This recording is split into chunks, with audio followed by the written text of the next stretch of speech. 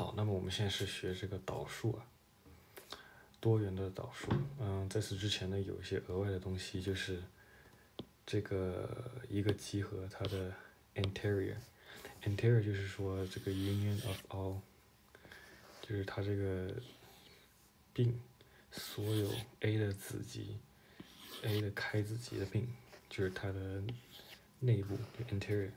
它的外部就是 exterior，那就是这个 A 的补集了，一模一样，就是所有嗯与 A 的补集的子集且是开的，OK。那么它的 boundary 就是它的边界呢，就是看就是这个式子，就是既不是在这个 Rn 中，但是呢既不在这个外部也不在内部的，就叫它的这个边界。好，那么我们就有一个性质呢，就是说。X 在边界的话，当且仅当对于任意的领域呢，这个 neighborhood 呢，我们我希望你知道什么意思，就是包含 x 的开集，哈，也不一定非要说是以 x 为中心的开球，只要是个包含 x 的开集就行了。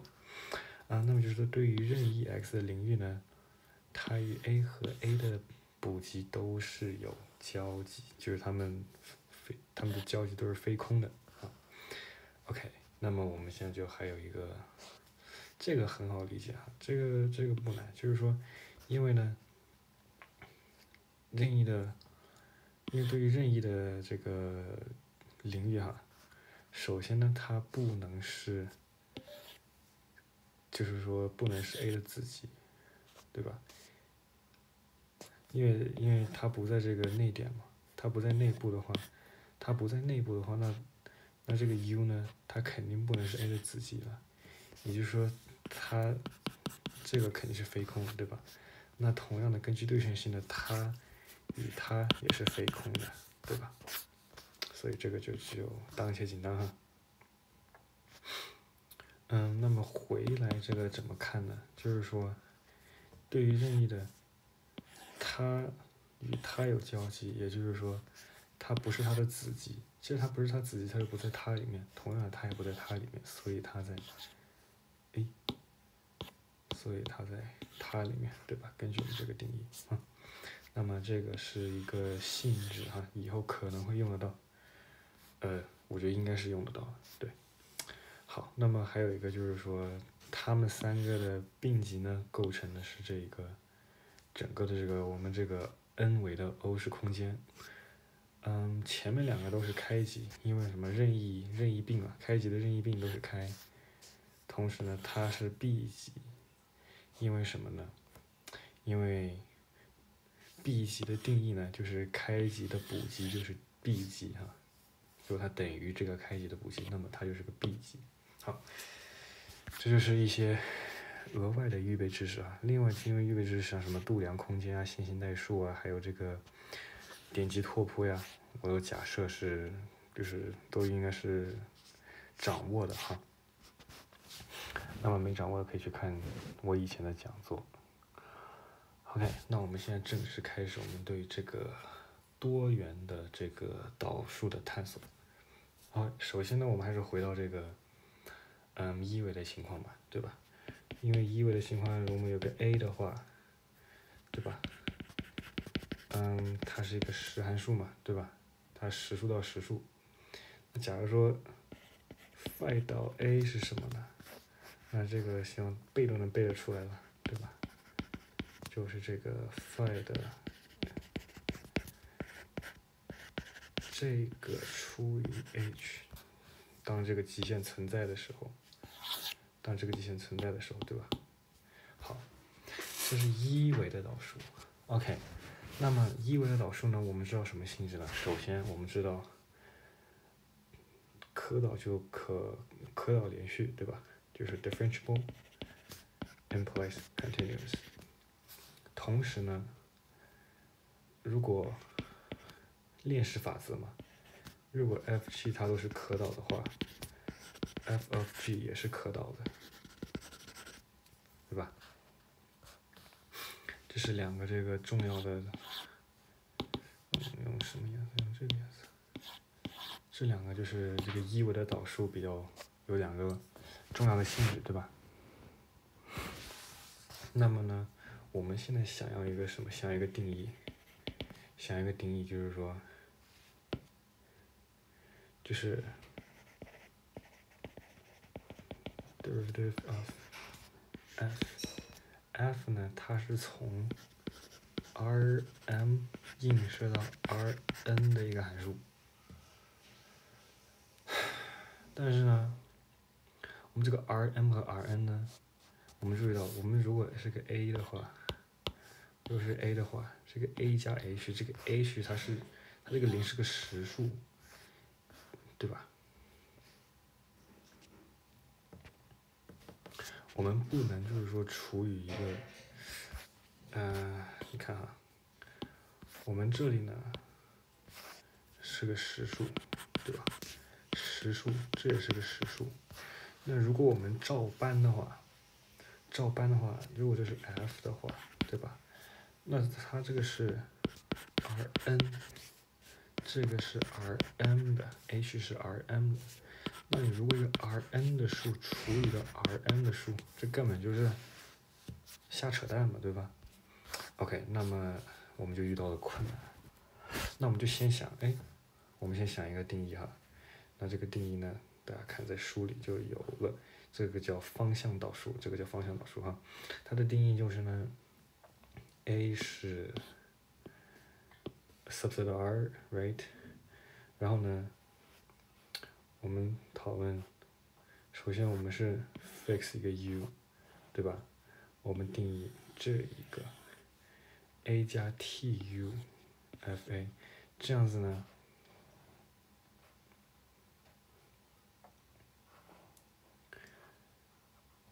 它就是一个什么？它是一个，这个是 Rn 的数除以一个实数，这个是没问题的，对吧？你就是实数嘛，除一个实数你是问题不大的。OK，那么假设我们有这个定义的话，如果这个极限存在 a 加 tu，对吧？这个 u 是一个给定的，就是它是已经，它是一个给定的一个向量。然后呢，你再讨论它这个形式的这个 quotient。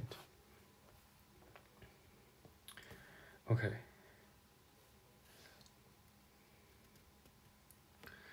OK，我们有这个方向导数的定义之后呢，我们发现啊，它这个虽然是定义是这么定义的可以，但是呢，它没有一个很好的性质，它没有什么好性质。首先呢。它不能，它不能有什么性质。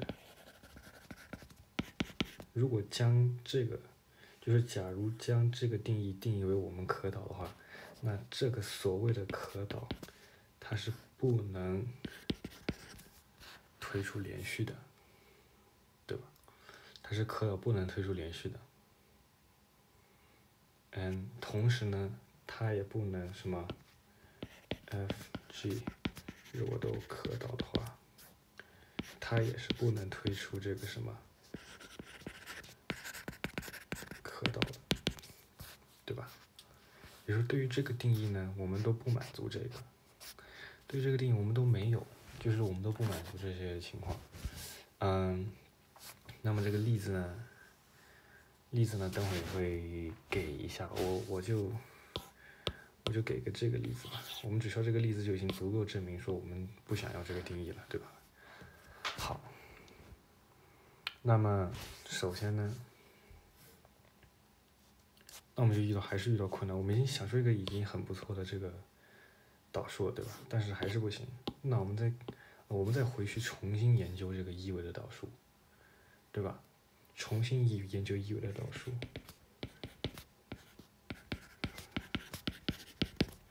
然后，如果是 phi 是，如果它在 A 处可导的话，那么就存在一个存在一个 lambda 是个什么呢？phi 的 A 加 t 减 phi A 减 lambda t t。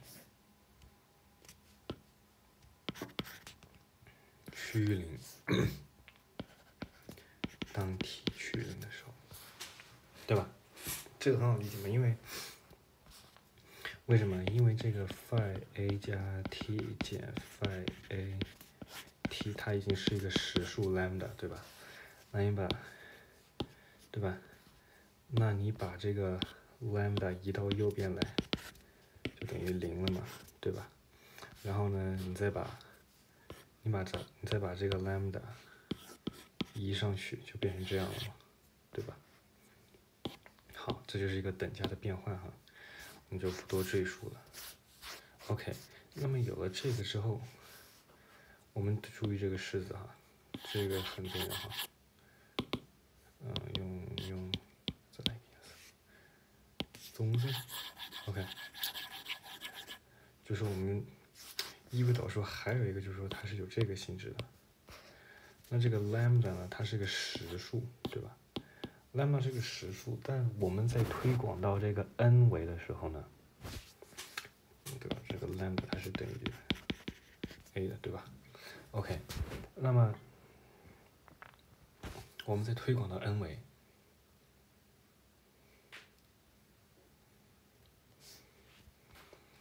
嗯，在推广到 n 维时，OK，抱歉，我们再再想一想哈，啊，这个导数的定义呢，这个 lambda t。这个 lambda t 呢？这个 lambda t 呢，就是相当于什么？是这个，就是这一项与这一项趋于零，当 t 趋于零除以 t 的时候，就是我们经常就是叫它是个 first order approximation，或者是说它的这个线性的这个近似。近似值，对吧？OK，那么它就是一条线嘛，对吧？这个 lambda t 它是一个一条线，对吧？它是一条线。OK，那么这 lambda t 这个函数呢，它是一条线。那么在推广到 n 维的时候，我们现在在 n 维中像线一样的函数，我们想到什么？线性映射。对吧？Linear in sense of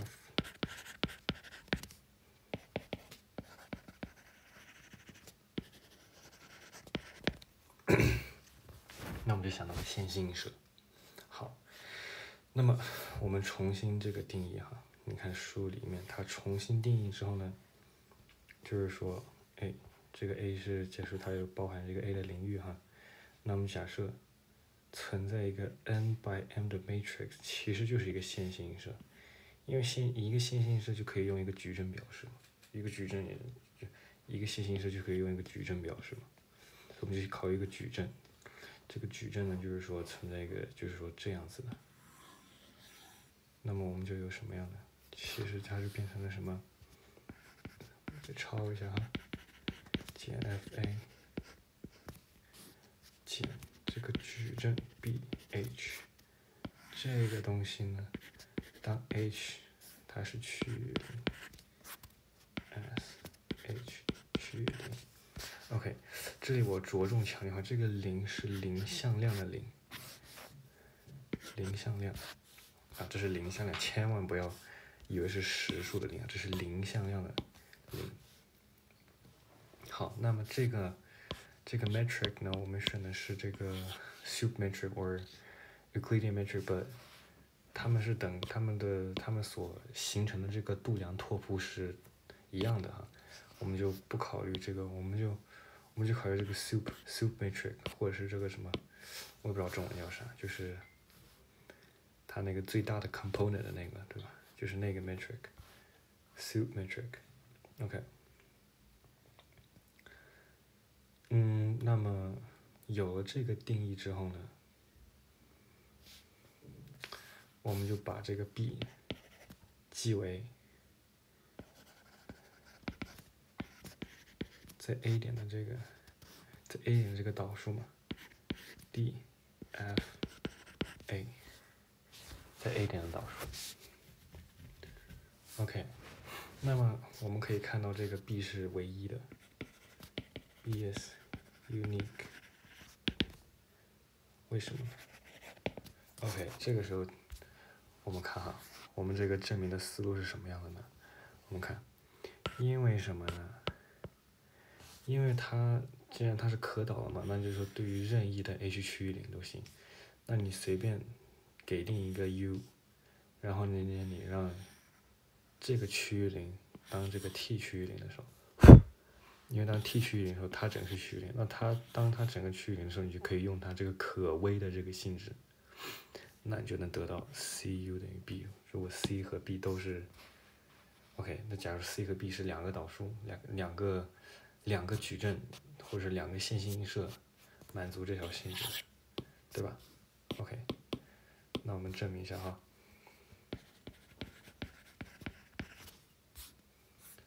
Suppose.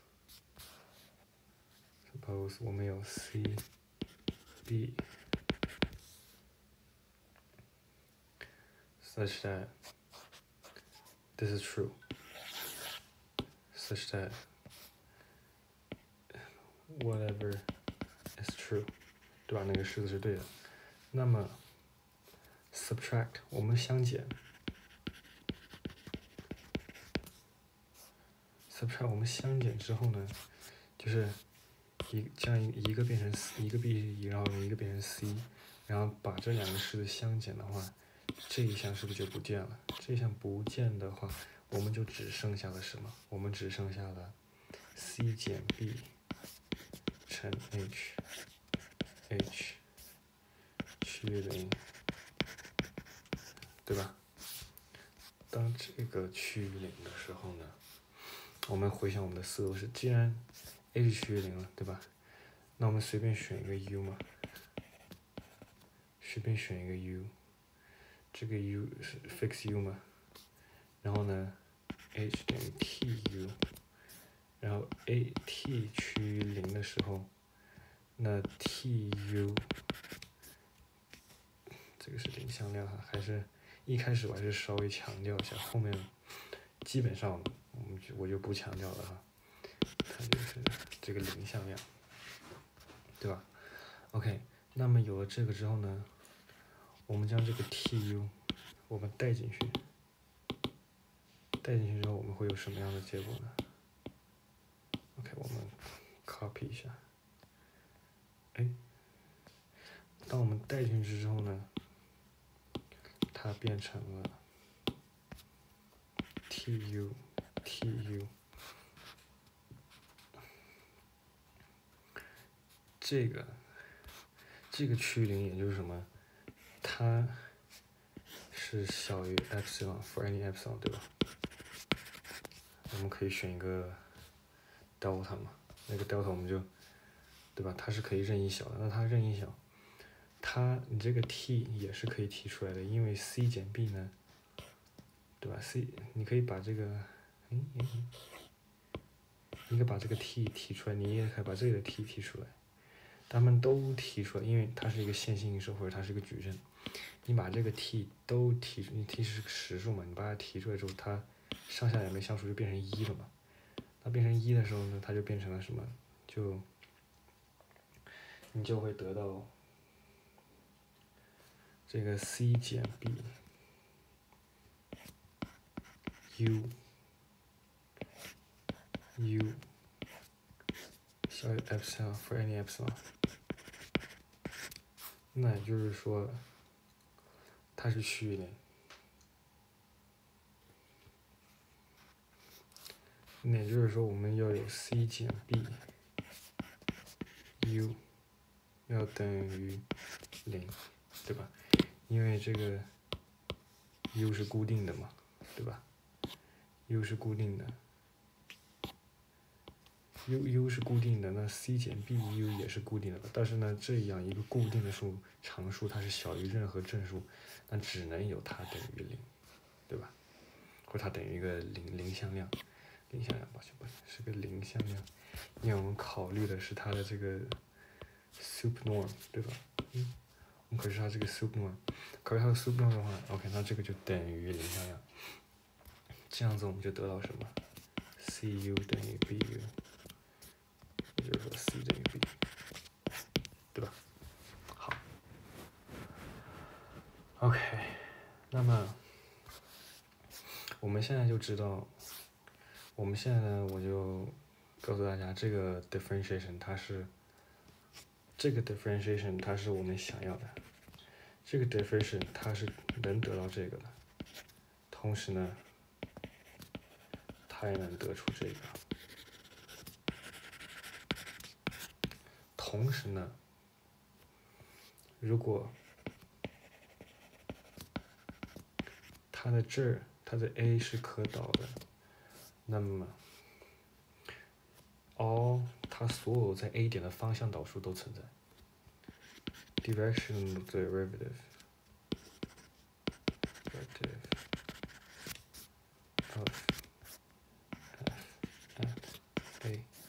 都存在，你说，它这个很，它有很强的性质，它有这个，它也有这个，同时呢，它还能保证这个也是对的，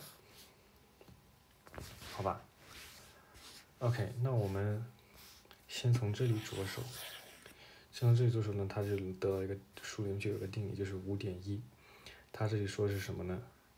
就是说，对吧？如果 f 在 A 点可导。那么所有的方向导数都存在，同时我们还有一个显性的公式，就是说它的方向导数呢，其实就是 u 的方向，其实就是它这个矩阵乘上这个向量，好吧？OK，那那我们先这个五点一，那我们证明的思路是什么呢？我们这边是不是就是当 t 趋于零正和 t 趋于零负的时候，我们分类讨论，因为它存在的话，所以它这两个都相等，对吧？好，那么是这样的话呢，我们首先啊，对吧？我们让我们让 b 等于它这个导数地的这个矩阵，然后呢，同样我们再让 h 等于 tu。然后呢，t 是不等于零的。好，那么根据因为 f 在 A 可导，那么我们就有 f a 加 tu 减 f a 减 b tu 这个东西 tu 变成这个趋于零。对吧？这个趋于零，当这个什么，当 t 趋于零的时候，对吧？OK，当 t 趋于零，那如果 t 趋于零正，t 趋于零正，它就是等于什么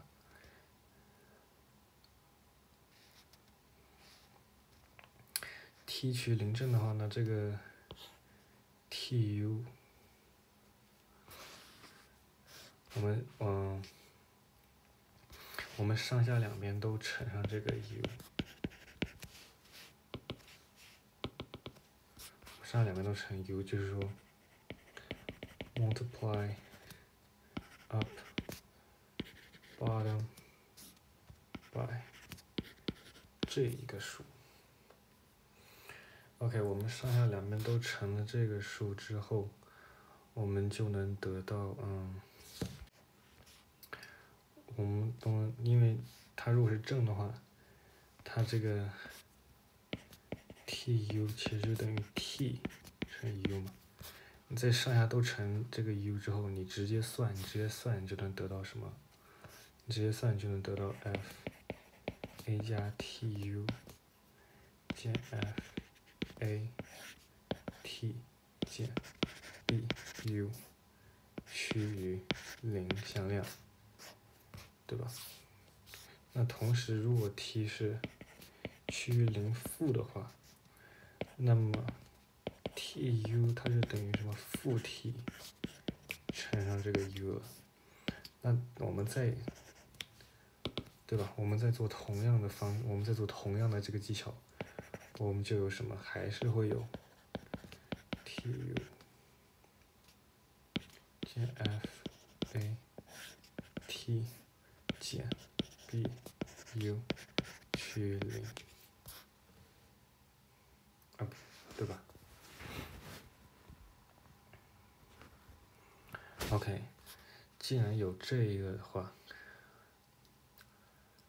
嗯，OK，既然有这个的话，我们又知道我们有什么？t 趋于零的时候。这个，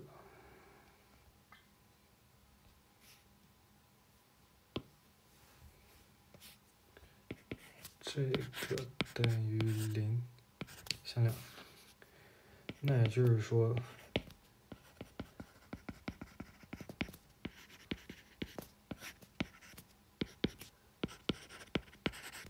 对吧？也就是说什么？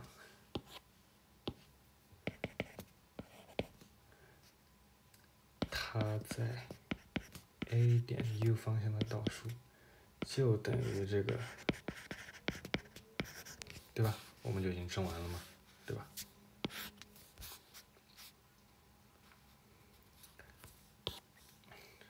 那么这个极限存在，这个极限下它极限存在，同时呢，这个极限下它也存在，因为它对于 t 来说只是一个常数。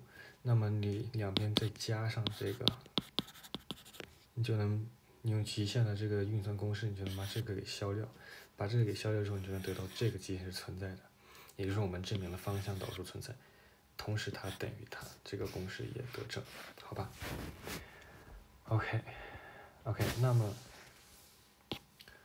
嗯，我们继续，我们继续，继续，嗯。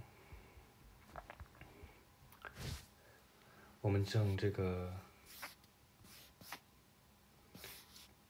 可导闭连续，我们证这个可导闭连续五点二，differentiable，那它就是 continuous，对吧？同样的这个 settings，好，那我们证可导闭连续，OK，那我们的。证明方法呢？我们先需要一个引理，就是说这个 Liner Maps 它都是连续的，就这个线性映射它都是连续映射。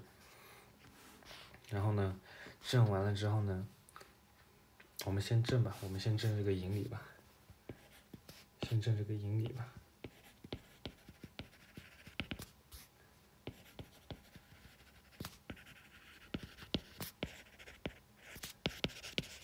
OK，我们怎么证这个引理呢？就是说，我们让这个 t 是这个 v_w 的一个线性映射。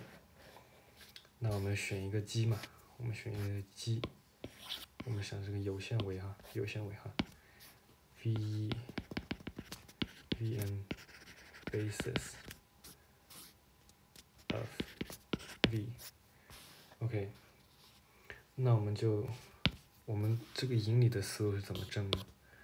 我们引理思路就是说，我们 estimate 这个值，然后呢，我们再 estimate 这一个，然后因为线性，因为它是线性映射，它是等于什么呢？它是不是等于 t v 减 v 撇呀？然后我们已经能，我们已经 estimate 了这个，我们再 estimate 这个，我们就能得到它是一致连续的。好，那我们先 estimate t v，那。最经典的做法呢，就首先我们得出一堆积，然后呢，我们 T V 呢，它是不是就等于这个 A I V I 一，嗯，对吧？这个积嘛，它都能做成一个 linear combination，然后呢，那 T V 呢？它是不是就小于等于这个小于这个 AI 乘上 TVI，对吧？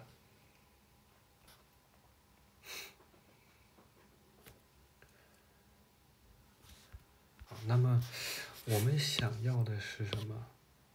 我们想要它是任意小，那它任意小的话，我们首先对吧？我们跟我们那我们就需要它是任意小。那当它是任意小的时候，嗯，我们肯定要跟这个 v 扯上一点关系，对吧？那么我们就选，对吧？因为 v 是给定的，对吧？这个 v 它是给定的，我们用这个阿基米德原理或者 Archimedean principle，we can choose C，使得什么 C 乘 v，它是大于等于这个的，或者说是这样也行，对吧？然后呢，我们再选个 n 等于什么？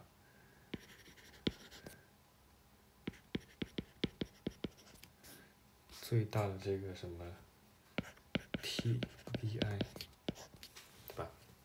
因为你是有限个，有限个它肯定有极大圆，有限个肯定有极大圆，那么我们就得到了什么呢？我们就能得到 t v，它是小于等于，我把它带进去，都带进去，嗯，a i 小于等于。它它又小于等于 c，c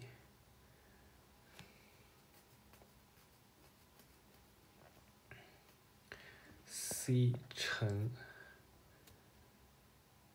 n 乘 v，对吧？那它就是一个常数，它就是一个常数 k，也就是说，也就是说 t v 它是小于等于一个 k v 的。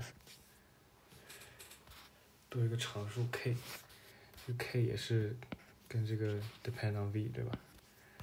但没关系。那我们现在，我们现在在 estimate，我们现在 t v 减 t v 撇，它是对吧？它是这个它是线性映射对吧？那它是小于等于，嗯，诶，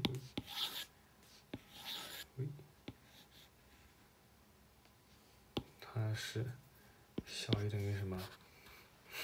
某一个常数 k，对吧？v 减 v 撇，v 撇减 v 不都一样？v 撇减 v，那么。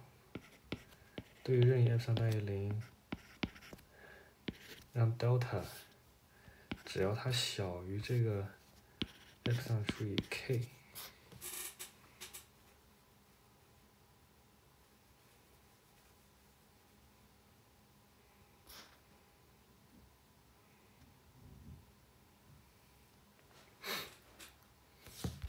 K 的这个 v 减 v 撇，那么当对吧？小于 delta 大于零的时候呢，t 的 v 撇减 v，那它是不是就小于什么呢？小于这个 epsilon，对吧？对于任意的这个 v v 撇，属于这个，对吧？也就是它是什么？它是这个一致连续的嘛，对吧？一致连续的，一致连续那肯定有连续。OK，那这个引理得证，引理得证之后，我们来证，我们正式证这个我们这个定理。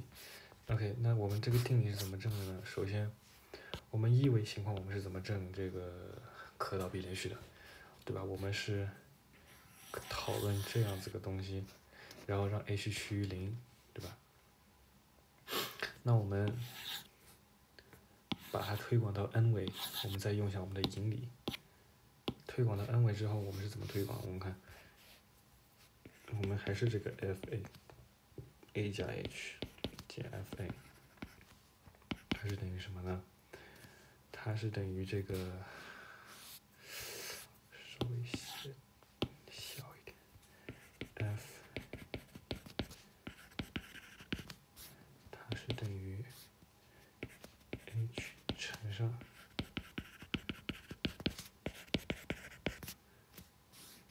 减 hh 这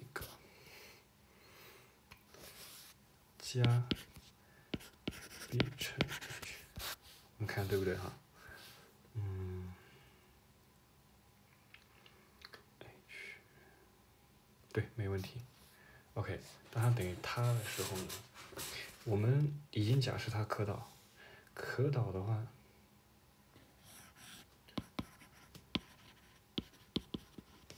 对吧？同时这个呢，也是嘛，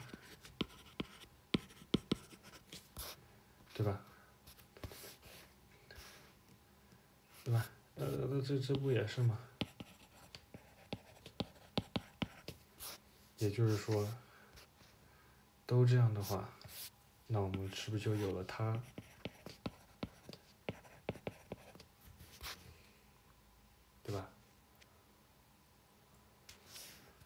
也就是说，我们有什么？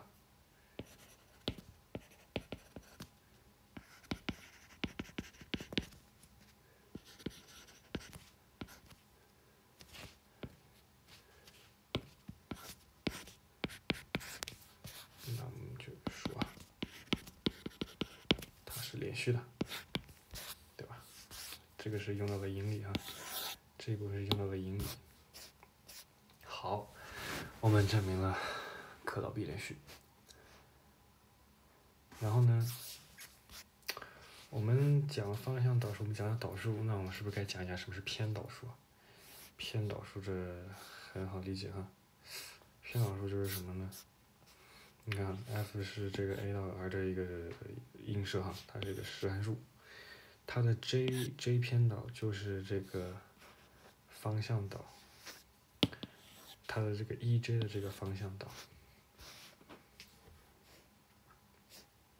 对吧？这个，喂喂，它这个方向导就是 E J 嘛，就是 you know the standard order based Jth standard order based element or something like that. So phi t 就可以定义成这样子，那么 f 的偏导那其实就是 t 在 aj 的导数了。就是当你计算这个偏导的时候，你可以把其他变量都当做一个常数来看待，你只需要考虑这个一维的这个导数就行了。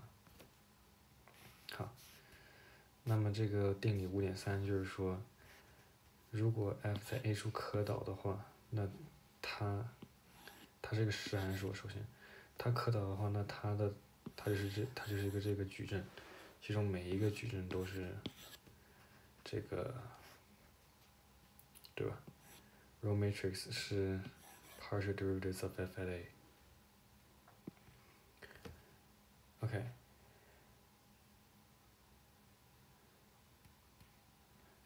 那我们先看，我们怎么证呢？这个是五点三哈，五点三就是说，我们这个 idea 就是说，因为它是可导的，同时呢，它是个一乘 m 的矩阵，我们用一下五点一，五点一就是它这个方向导数的公式，方向导数公式呢很好理解了，对吧？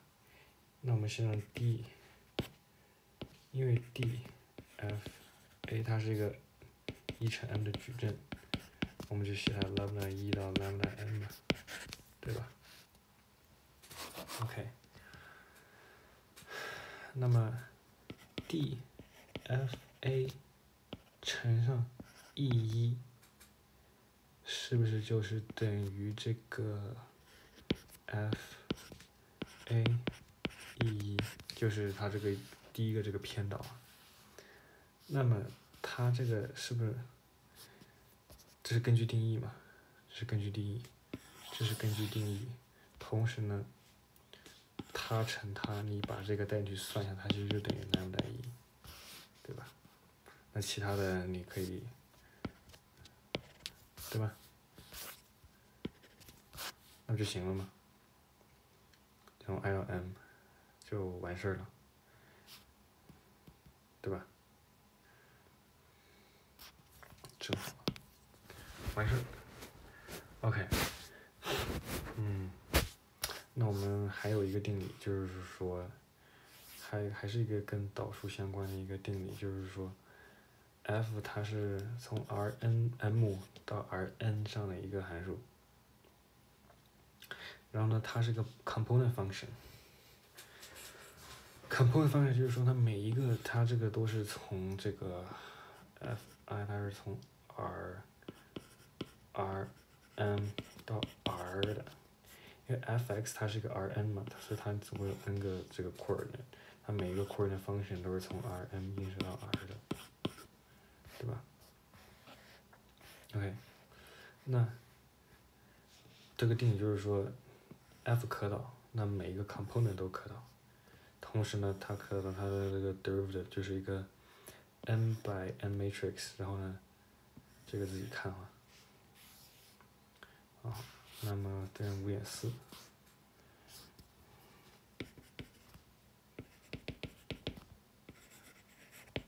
五点四怎么证呢？我们考虑一下这个，我们的 idea 就是我们考虑一个 f(h) 是是这个，对吧？对，我们就是考虑这一个这个函数，对吧？OK，那我们看 f(h) 等于这个。F i h 是它第 i 个 entry，为什么要说什么 i entry 呢？因为我们看 b h 它是一个这个矩阵，f 它也是一个矩阵，这对吧？都是一个矩阵除以一个 scalar，对吧？就是 f h 它是一个矩阵，它是什么样的矩阵呢？那我们看哈。它是一个 column matrix size n by one column matrix size n by one。那也就是说，f，OK，我们先 f h 等于这个，对吧？f a 加 h 减 f a 减 b h h，那么它的第 i 行。是不是就是是吗？它的第 i 行那就是 f i a 加 h 减 f i i 的 a 再减去 b h 的第 i 行那其实就是 i th row。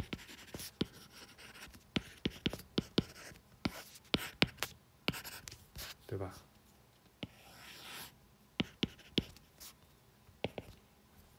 对吧？OK。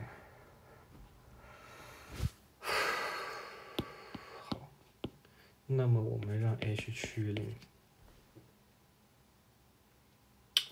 ，h 趋于零，那么 f(h) 趋于零，当切进当什么？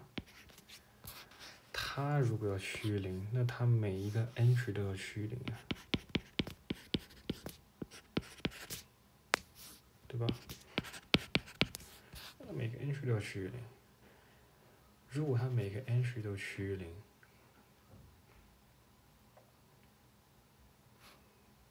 这是当前进到它，对吧？它趋于零，那肯定要每个 entry 趋于零。它每个都趋于零，那肯定有它趋于零，啊。趋于零，翻译翻译，它可导。f(i) 趋于零，翻译翻译，是什么？这是偏导嘛，对吧？f(i) no no no，呃，f(i) f(i)，f(i) 是什么？对吧？嗯。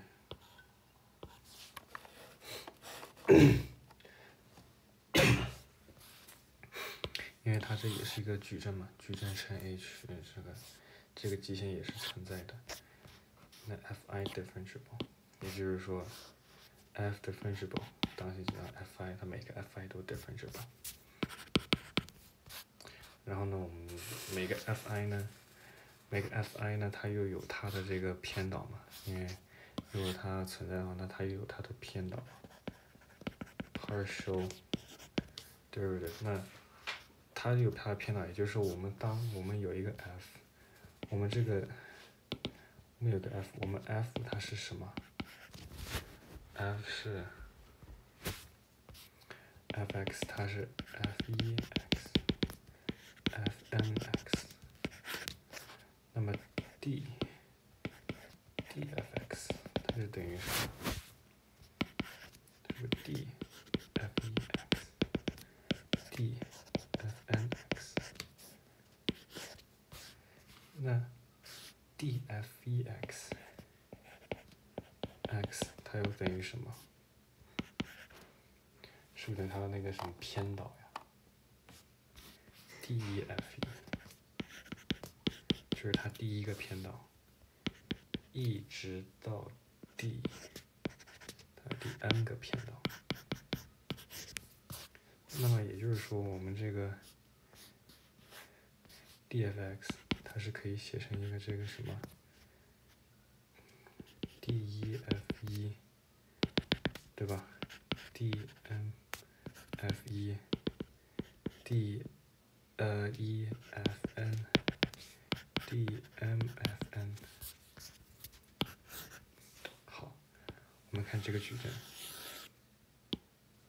我们看这个矩阵，这个矩阵呢有一个响亮的名字，叫雅科比矩阵 （Jacobian matrix）。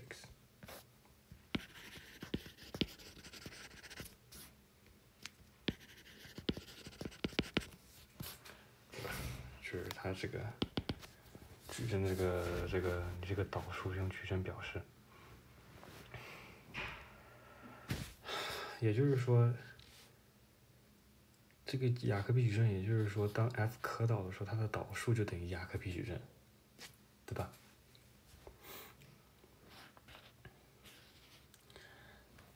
但是呢，我们可以说什么？但是也有可能是说，it is，也是我们有可能会存在一个什么情况，就是说，d i f j 它都存在，但是呢，它的这个导数是不存在，全这个权威分我也不知道中文叫啥，就是它的 derder 的是整体是不存在的。也就是说，我们有一个什么问题呢？就是说，我们就是没法判断，当它这个函数它是不是可导的，就是如果我们要判断它可导，我们只能从它这个定义来入手，因为我们因为有可能说它每一个偏导都存在，但它导数也不存在，也就是说我们不能说，哎，如果它偏导存在，它导数就存在，对吧？那我们现在目前还没有什么方便的方法，就是来决定、来判断一个函数它是不是可导的。那么呢，这个问题将在下一节课得到解决。我们就先先到此为止吧。